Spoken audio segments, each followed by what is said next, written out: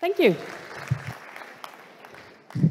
And I know I'm standing between you and lunch, uh, and we're slightly behind. So if I start speaking really, really fast, please stop me. Um, because just as Jenkins X, I have a lot of opinions. I'm going to talk today about something um, that I've come across as a problem during all of my years doing IT from different angles.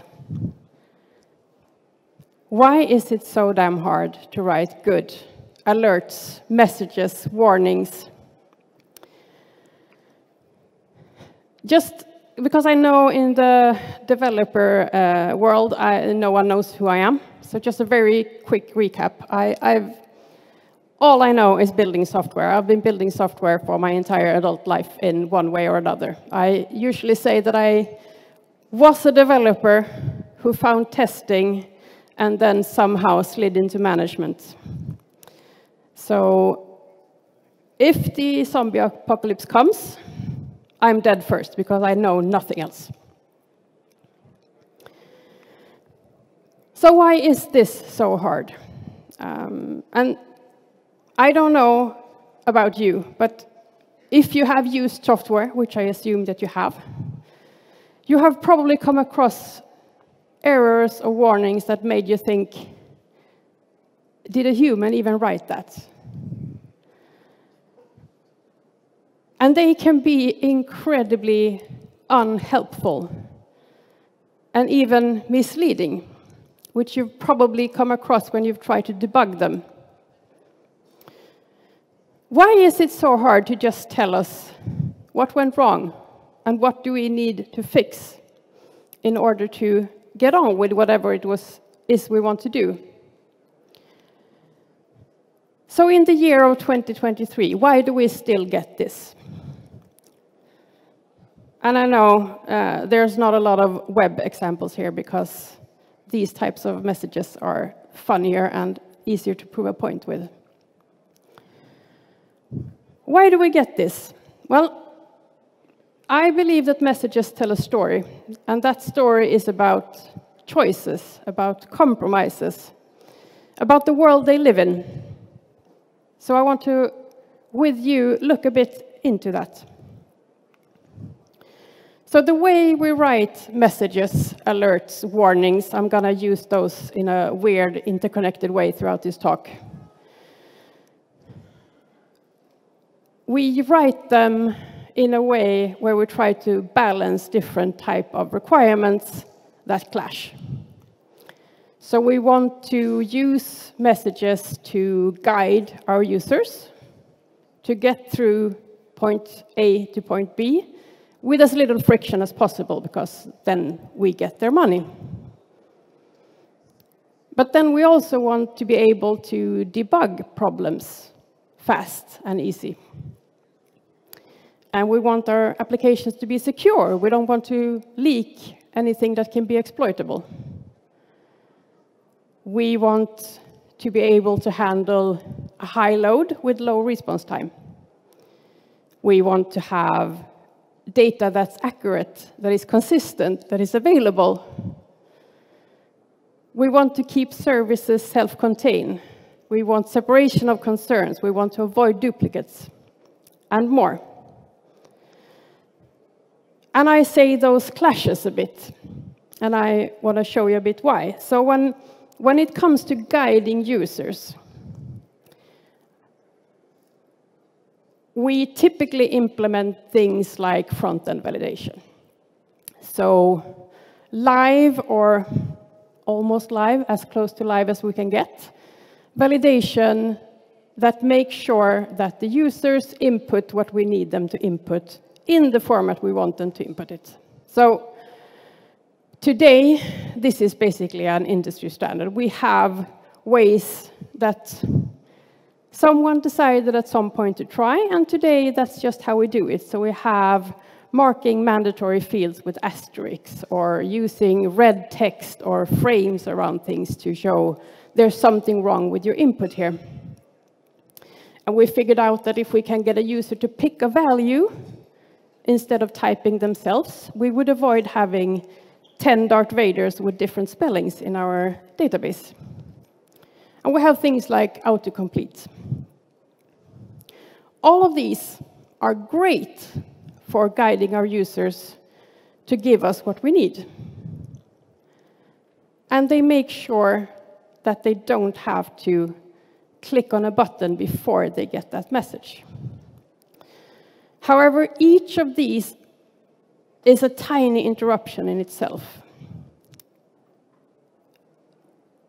If we implement it too soon, it will be annoying, because what if you're typing in a field and it starts telling you that the input you're giving it is wrong, but you're not done inputting it yet? So you haven't written a complete date yet. Of course, it's going to be an incomplete date.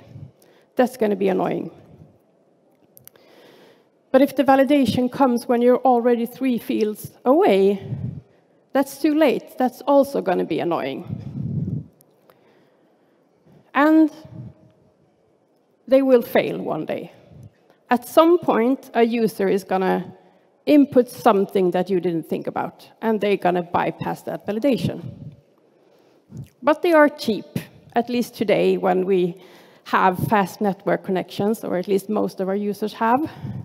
We don't have to care that much about keeping our front ends as tiny as possible, because I'm a dinosaur uh, I care very much about tiny front ends, but you don't really do that anymore. It's, it's cheap to have validation here.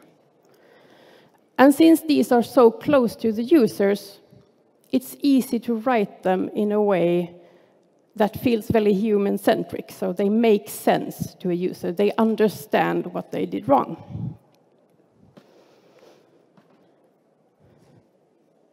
But then there's the security aspect. So from a security perspective, we would prefer to not give away any information at all, but we know that doesn't work. So we want to give away as little information as possible. So an example is that you don't want to tell the user here that that email address is or is not in use, because then that can be exploited. You just want to give a, a, a vague message that something's wrong here. We want to keep our assets safe. We want to avoid leaking information.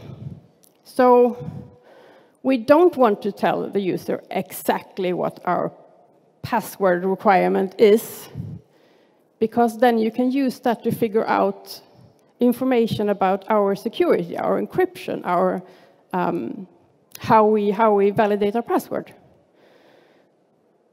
But as a user, if you don't know that, it can be incredibly annoying to keep trying and trying and trying and not figuring out what those requirements are.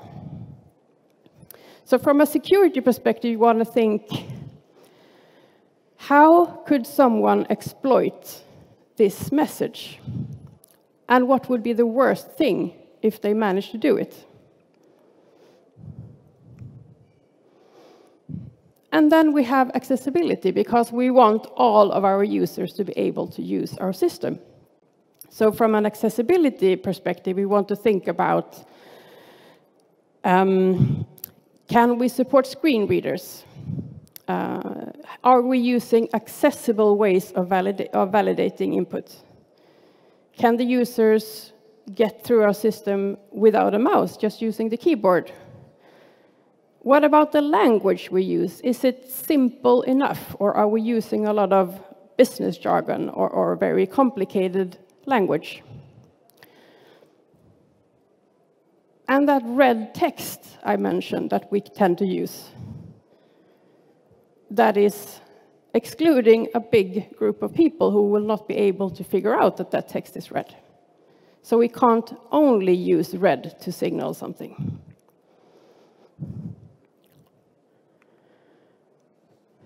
And then we also have some things that are maybe closer to your heart. We want performance, we want scalability, we want reliability. So we want response times to keep as low as possible, even when the high, uh, load is high. We want to keep data accurate, available. We want our services to be self-contained. We want separation of concerns, as the two previous speakers have talked about. So we want to avoid traffic. We want to avoid uh, I.O. Um, tasks. We might even want to keep our error messages as generic as possible because that's lower complexity than having all of these tailored messages. And of course, we want to make sure that even if we have validation in all of these different parts, which I urge you to have, make sure they validate in the same way. And then, of course, there's also debugging. And from a debugging perspective, we want all the information. We want to know what went wrong, why did it go wrong, where did it go wrong, what did we actually want it to be. So from a debugging perspective, this might be the perfect error message. For a user, it is not. It is not helpful to a user.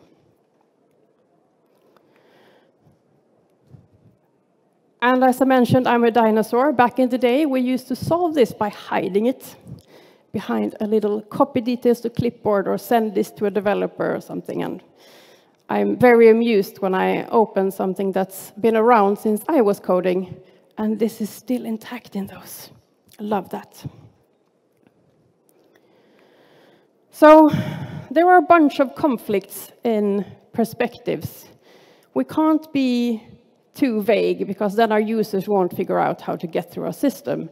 But we can't be give them too much information because then a bad actor could use that to exploit.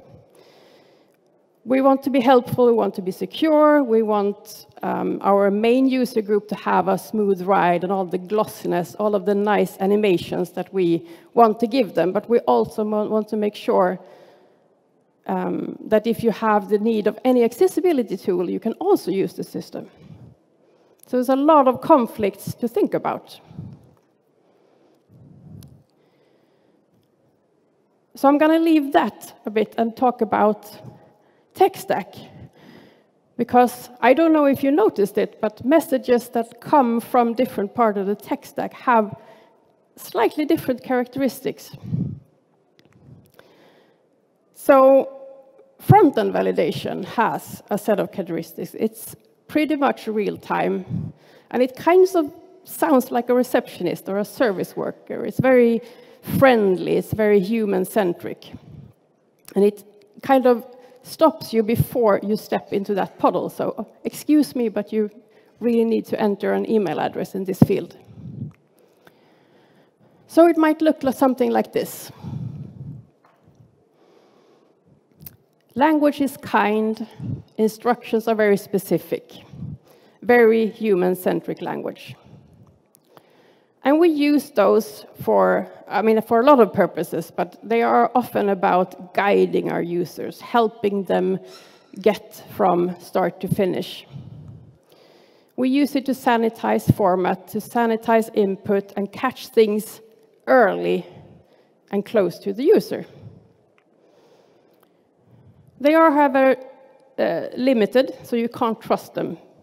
Um, I mean, feel free to have as much front-end validation as you want, as long as you don't only have front-end validation, because we will get past that as users.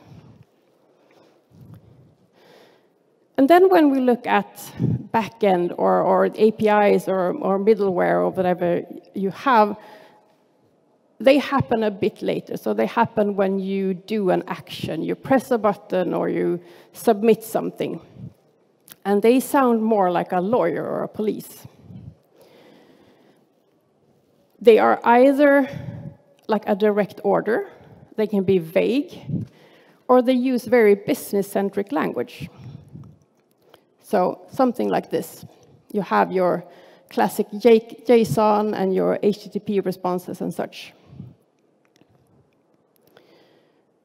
So these are more aimed at security. They are protection about bad protection against bad data, protection against attacks, and this is where we fit all of our business rules in. So they are very business rule centric. And again, if we catch things here, we don't have to send stuff down to the database, which is nice. But if we catch things here instead of the front end, it feels more of you're breaking the user flow. So the user has to pause and go back. Um, duplication of, of validations in multiple places, again, this is not a problem. I want you to have it. And we also have a lot of generic, like catch-all errors here. So something like this. Oops, something went wrong. Doesn't tell the user a lot of, inf of information.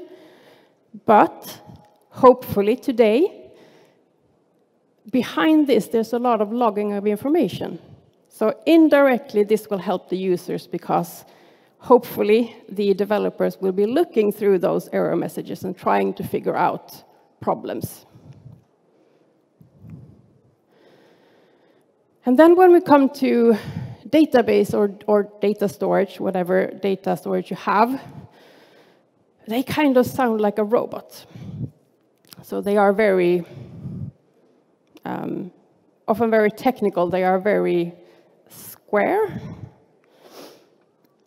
And here we are looking at things like data integrity, data quality, and this is our last line of defense. Because if I, as a user or as a tester, manage to get bad data past this, that's when I can really, really break your systems.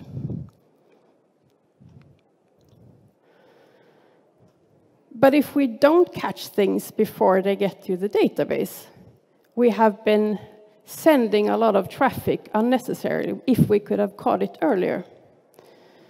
And a lot of context has been lost between whatever the user inputted and the error message we get.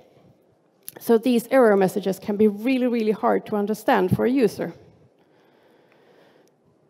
So they can look something like this. Now, I happen to know what this means because I've been programming against databases for 20-something years, but a user wouldn't understand what this means. Or if you're really unlucky, you end up with something like this that you can't even control, because this is the actual database shutting down. This could, of course, also be the mail server or an integrating service that you have no control over. But you still need to relay that information back to the user in a way that they will understand. So with each step that we move from the user back to, well, in this case, our mail server, we lose context. We lose connection to our users. And it becomes harder to explain to them what actually went wrong. So looking at an database error message in the front end, I mean, I would say you're lucky if you get that clear of an error message because SMTP error 501 you can actually Google and figure out what went wrong.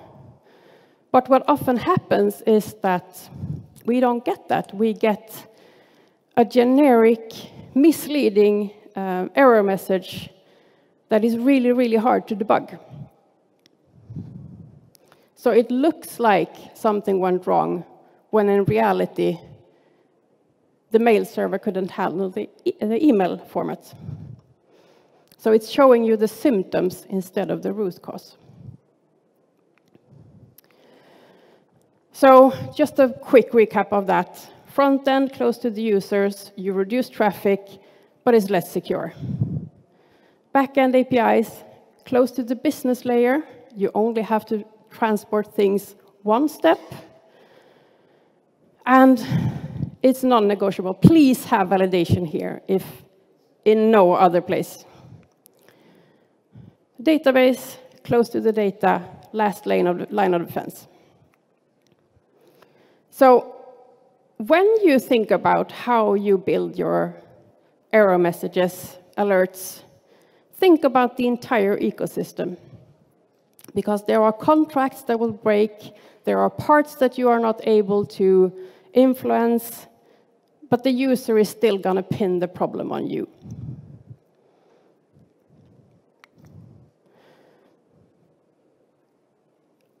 There are more error types than this, but there are at least four groups that we can group um, errors in. We have all of the things that are available are, are connected to availability. So servers being down or, or services being down.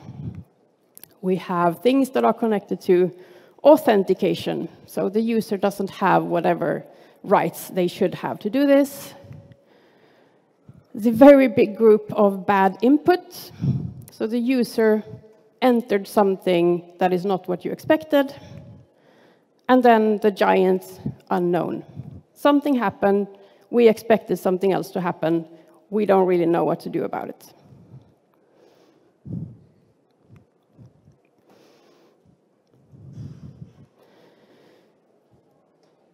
What I want you to do is to learn things outside of whatever is your normal scope. Because it will, be, it will make you better at what you're doing. So in this case, I assume most of you here are developers then maybe you can learn more about user experience or accessibility or mail servers. And I want you to think about how much information you can get from those messages that feel only like gibberish when you start looking at them.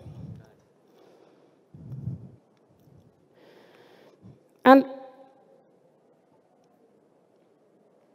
what I usually get at this point, I'm going to uh, avoid getting these questions afterwards. I get questions like, so what is the best practice?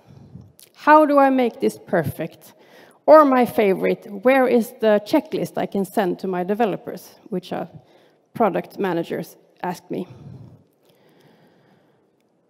And if you take away one thing from this talk, it is that there is none. There is no perfect. It's all a matter of context, and it's all a matter of choices and priorities, because you can't perfectly meet all of those conflicting requirements.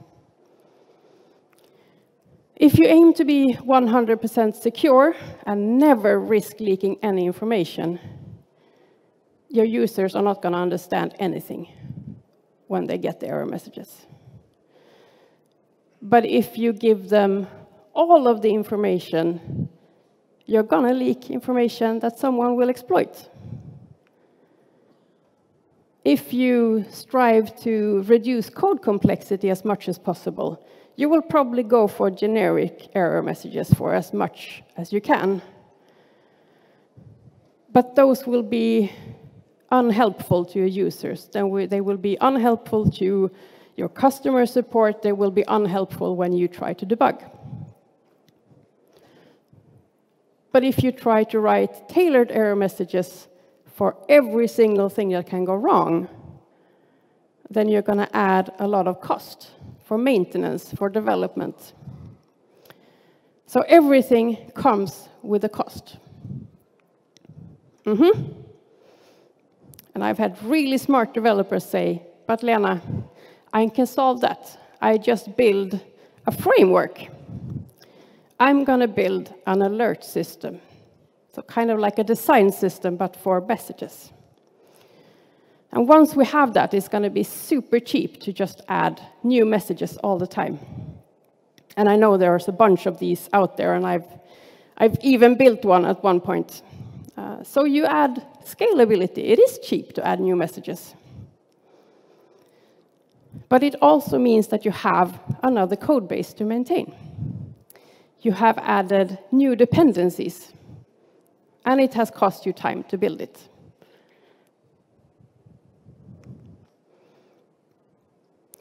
If you try to be 100% inclusive at all times,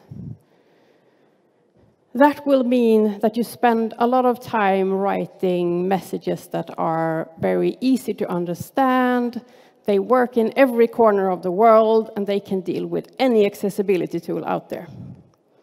But that also comes at a cost. It comes at a cost in building it, but it also might cause your main user group to be less happy because it might mean that they don't get the same glossiness, the same level of flair that they are used to. But on the other hand, if you only work towards the majority, you're going to lose out on customers that need those accessibility um, features. And you're probably going to break a few accessibility laws while you're doing it. If you try to catch every problem as soon as it happens, that will mean that your users feel secure, they feel helped. But if you do it too much, it might also feel like micromanagement. It can be annoying to a user. And again, it's going to cost you code complexity. It's going to add lines of code that you don't necessarily need. But if you don't have enough of it, that's also going to be annoying because problems are going to be um, relayed back to the users too, uh, too late, so the feedback loop is too long. And yeah, I know. This is way too confusing. I'm sorry, you're probably going to leave this talk knowing less than when you entered. But my point is that instead of doing things the same way you've always done, always listening to the same priorities, always picking the same solution, nothing's going to change. So I want you to ask questions. I want you to consider the context you are in. And then decide what's right this time. So some helpful questions you could ask is, how important is this particular feature? Is it worth investing in that added complexity? Do we expect this problem to happen a lot? Or is it maybe okay if that once in a blue moon the users get an unhelpful message? Is this standard feature that works the same way in a hundred other applications. Maybe there's even an industry standard for how these messages should look. Or is this something completely unique to us, where we can set the standard? Can this feature make us a lot of money? Is it worth investing in making sure the users get through this particular feature as smoothly as possible. And of course, can this feature cost us a lot of money? If this data is exploited, can that cost us a lot of money? What's the worst thing that can happen? And then, of course, there's also other things that will affect your choices. There are things like who are your loudest stakeholders? Are those stakeholders the most important stakeholders, or are they always getting their way because they happen to be loud? What's your current tech? What does your architecture look like? Is there a design system in place that you have to stick to? Is there technical depth that's hindering you from being innovative when it comes to this? Of course, money and time. There's never enough money and time, but just how much money and how much time can you spend on this will affect. And then trends. I've been working in IT since 1999, and I can, I can, I could almost draw a map over what roles have had the most influence over those times. So at some point, testing was really, really important, or testers were really, really important, and we had a lot of influence. in, in the systems. But we weren't really good at things like user experience or security. So those perspectives were not as prioritized. Today, design is really important, so we spend a lot of effort on helpful error messages. Data analysis is growing, so that's going to become a perspective to, to consider. And who knows what's the next trend? And then, of course, whoever you have in your team is, or in your organization is also going to affect. How senior are they? What experience do they have? If they've built 10 alert systems historically, they are likely going to try to do it here as well. And just like your taste, your, your personal preferences as, as a team will affect. So you can't perfectly meet all of the demands, all of the requirements, all of the perspectives. Trends change. Whatever voice is louder varies. What you are building shifts. And whoever is in your team, your organization, will also change over time. So I want to give you, I want to leave you with a call for action. I want you to challenge your default way of doing it. So if you are in this room and you are a designer, I want you to think about what perspectives are you missing when you're focusing on user experience. If you're a product manager, I want you to consider, have I thought about the code complexity when I write these requirements, when I do the, the planning of how we're going to build this? And if you're a developer, I want you to think about, am I considering all of these different aspects? Am I taking them into consideration? Or am I just following whoever has the strongest voice right now? And do you understand why we want to build them, design them in a particular way? What are you disregarding? What are you not choosing when you're making the choice?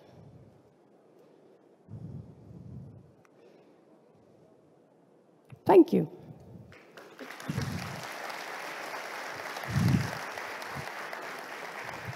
Lena, thank you. Uh, I think we have time for questions. Anybody would like to have a question or have a discussion with Lena, this is the chance. Please raise your hand really high up so I can see it. There it is. Okay.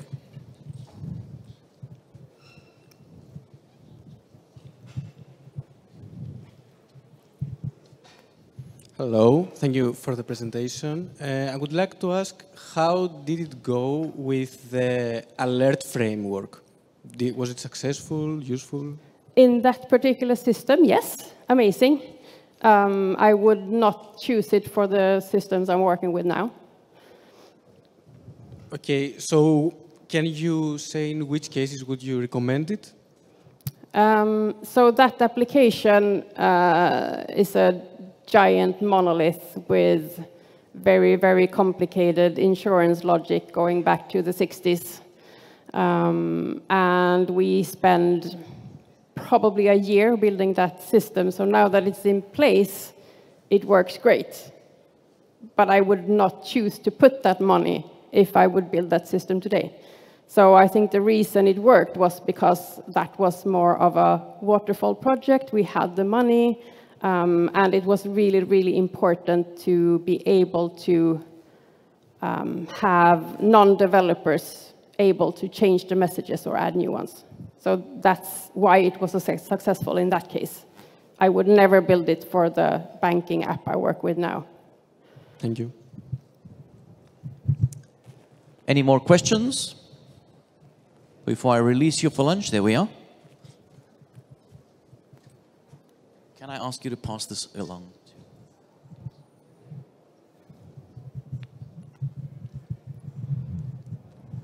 Hi. Um, isn't it uh, an important consideration on how to design your UI uh, also the law, European uh, accessibility laws that companies had, have to adhere to from 2025 onwards, I believe? Yeah, um, that's why I said if you don't take that into, into consideration, you will break laws uh, at some point. Um, and, and that's a choice companies make all the time, every day. But yeah. And I could, I could talk for hours about accessibility, but I decided not to spend too much time on that. I think it could be a conference on its own. Yeah, yeah, definitely. Right. Probably is. Probably is. We should actually think about that. All right. Shall I take one more before we before we break for lunch? No, I think Lena, thank you so much. Thank you. Thank you. Everybody enjoy lunch and we'll see you right back here for the next session immediately after that. Thank you.